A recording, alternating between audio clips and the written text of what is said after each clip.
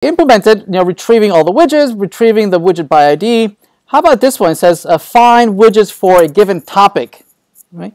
So in this case, what we'd like to be able to do is, is something like, um, uh, presumably we have a topic ID in the database, right? We have this topic ID. So maybe you know some of some of the uh, some of the widgets might belong to topic ID 111, whereas some of them might belong to 222.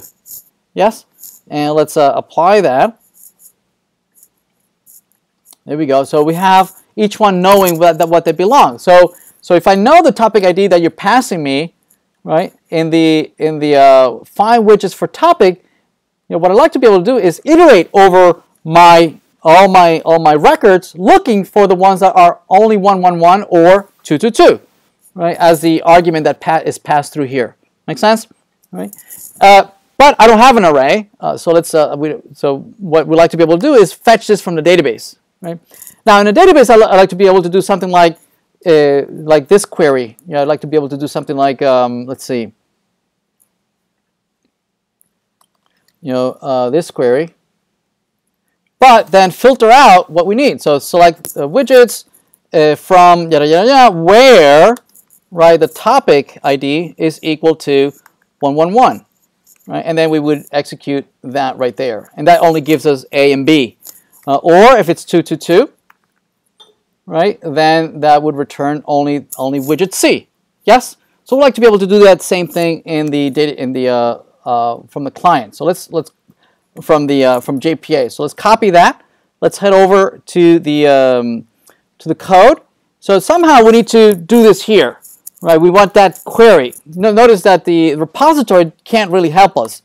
If we if we do a if we if we look at the functions here, there's no way for us to filter on something that is anything else other than the primary key, right?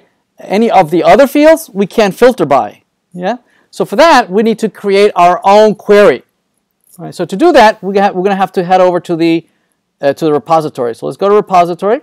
So in here, right, notice that we're extending this CRUD repository, which has lots of really cool functions, right, methods, but it does not allow us to do uh, custom queries. So to do custom queries, you you basically define the interface that you want, how you want to use it, and, and the way we want to use it is using this this uh, this same um, this same API right here, right? So let's declare that API,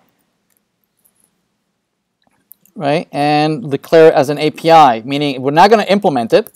We're not actually going to implement, but what we'd like to be able to do is to run this query. Run this query.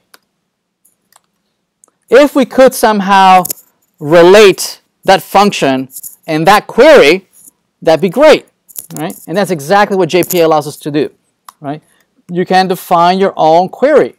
Define a query.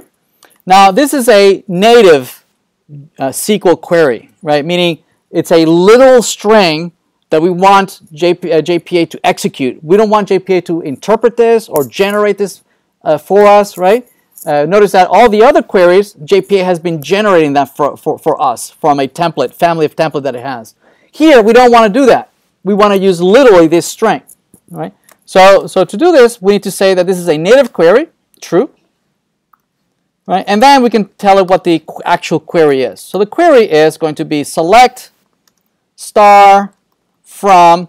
We don't need to we don't need to provide the name of the database. It's already configured in the uh, URL, so we don't need to establish that. But we do need to say that the table. So it's widgets where topic ID is equal to some placeholder, TID.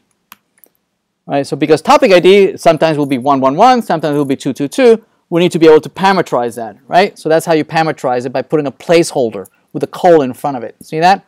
Right? Uh, so, so the next thing we need to do is that somehow this, this, this TID placeholder needs to be mapped to this parameter that's coming through the function. Yes? And the way we, we map this TID to this string is we use another annotation. We say param. Right? These are, this is a parameter. These are, these are called parameters. Right? And we can say that this, this string topic ID, we're going to map it to the parameter called TID that is on the placeholder of this string. Make sense? Right? Once we have that, we can head back to the service and say, and we say dot, Now notice that now we not only have the boilerplate functions like find all, find by ID, we have all those boilerplate functions, but now we have the one that we defined. Right, there it is. Right, that's the one we we implemented. Right, we can say, yeah, that's the one I want to use. Right, and I'm going to pass you the topic ID. It's going to execute the query, right, and then it's going to map the the rows that come back. It's going to instantiate widget instances for us.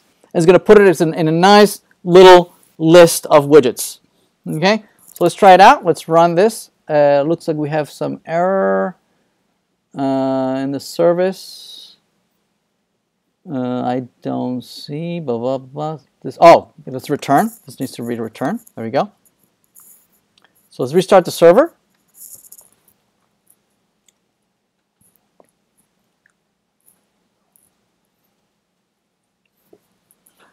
All right, so so this this find widget by ID, uh, we exposed it in the controller uh, right here. Find widgets for topic, right?